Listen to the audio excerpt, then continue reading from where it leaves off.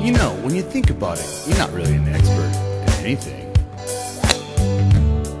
But you're pretty good when you're hitting something with a stick. No wonder you love golf and baseball, tennis, hockey, even cricket.